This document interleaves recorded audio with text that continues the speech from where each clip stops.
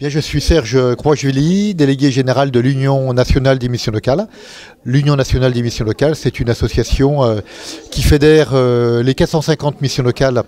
euh, en France et qui a aussi une fonction syndicat d'employeurs. Alors bah, l'objet de mon intervention a été en même temps de, présenter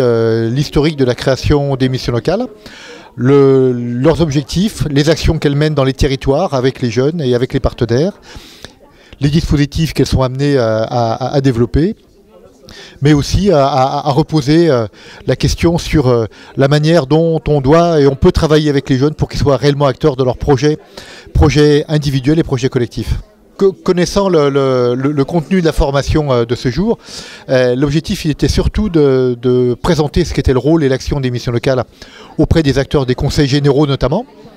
pour que puissent euh, se développer entre les conseils généraux et les missions locales des, partenariats et que l'interconnaissance en fait euh, entre les différents acteurs, hein, des, collectivités territoriales d'une part, des missions locales d'autre part, bah, facilite le travail ensemble pour les jeunes et avec les jeunes. Cette interview a été réalisée dans le cadre d'une intervention. Retrouvez la webconférence en intégralité sur communauté.idealconnaissance.com.